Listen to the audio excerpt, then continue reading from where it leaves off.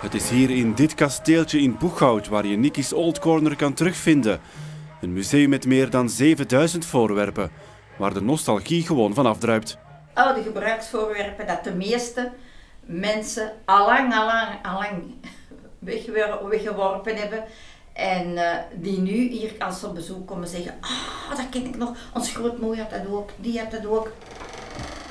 Waar de verzamelwoede van veel mensen eindigt op de zolder, eindigt die van Nicky in een museum, haar eigen museum.